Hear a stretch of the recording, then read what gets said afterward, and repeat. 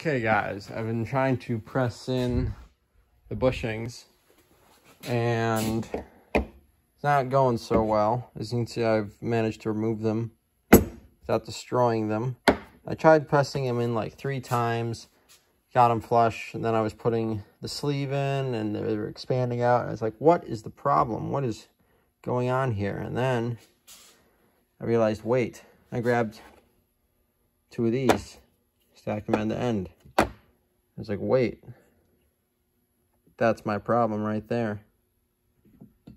The bushings are molded way too long. They touch in the middle. I mean, look at that. So this was, for those who don't know, you need a, you need a gap between these for expansion. So when you put the eye in, it compresses a little bit, and then it compresses and it expands inward. And if you look, right, oh, there they go. I don't have enough room. So if you look, if we take these and we go to put them where they would sit on the frame, hold on, give me a second. Go like this.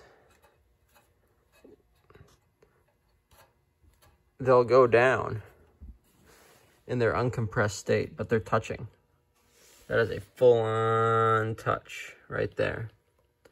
So what we got to do is we got to cut some of these bushings off in the center. Um, I'm a little disappointed in this.